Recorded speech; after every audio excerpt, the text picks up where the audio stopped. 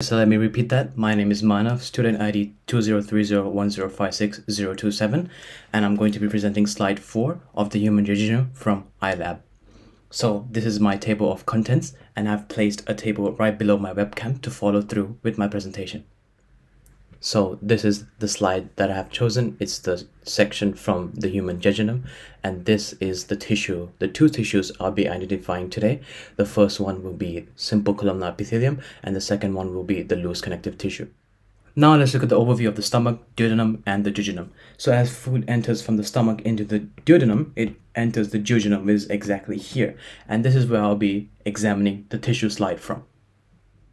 Now let's talk about the walls of the jejunum. The jejunum has four walls. The first wall is the serosa, which is the red arrow, then the muscularis externa, which is the yellow arrow, the submucosa, which is the green arrow, and the mucosa, which is the blue arrow.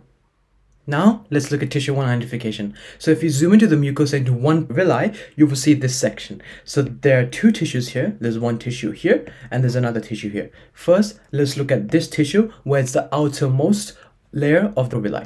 So there are three cells that can be identified in this tissue and for cell 1 we're going to be looking at these elongated cells. So for the features of these cells, they are closely packed cells with very little extracellular matrix. They appear taller than they are wide.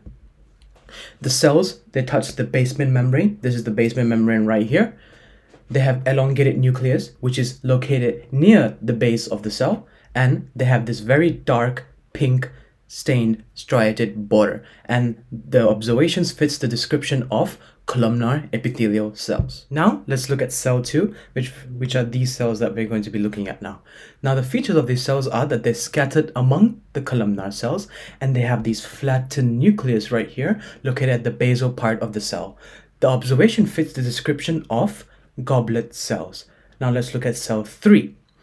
These are the third cells that we're going to be looking at. The features of these cells are that they are small round nucleus present within the epithelium and their cytoplasm is not clearly visible. So this obviously fits the description of migrating lymphocytes. So for tissue 1, we have identified three cells. The first cell was the columnar epithelial cells, which are mainly used for absorption of nutrients of food, digested food. The second cells are goblet cells, which are for secretion of mucus. And the third cells are migrating lymphocytes for defense and immune purposes. So this is obviously the simple columnar epithelium. So tissue 1 is simple columnar epithelium. Now, let's look at tissue 2 identification. So, we already looked at this particular section of the villi in the mucosa. We already saw that this was simple columnar epithelium. Now let's look at this tissue right here. There are many cells in this tissue, but we're going to be examining three cells and one non-cellular component. So for the first cell, I'll be looking at that. So for the features of this cell is that it's large and ovoid with purplish cytoplasm.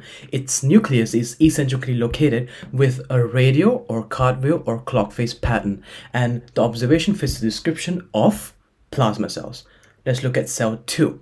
I'll be talking about that cell. The features of this cell is that it's spherically shaped, its nucleus is segmented and bilobed, and it has many granules present in it. And the observation fits the description of eosinophils. Now let's look at cell 3. So for this cell, we can see that it's spindle shaped, it has a large and oval nucleus, and is surrounded by fibers. This fits a description of fibroblasts.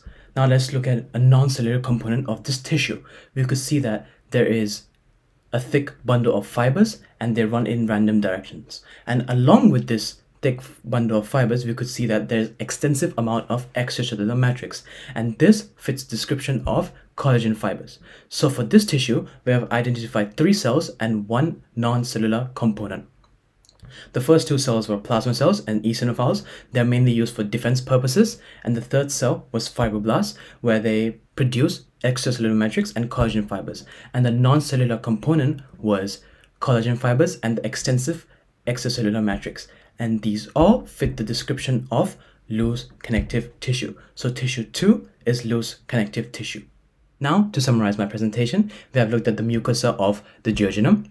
We have identified that the tissue 1 was simple columnar epithelium because of the presence of columnar epithelial cells, goblet cells, and migrating lymphocytes. And for tissue 2, we have identified it as loose connective tissue because of the plasma cells, fibroblasts, eosinophils, collagen fibers, and the extensive presence of extracellular matrix. Thank you for listening to my presentation. Have a great day.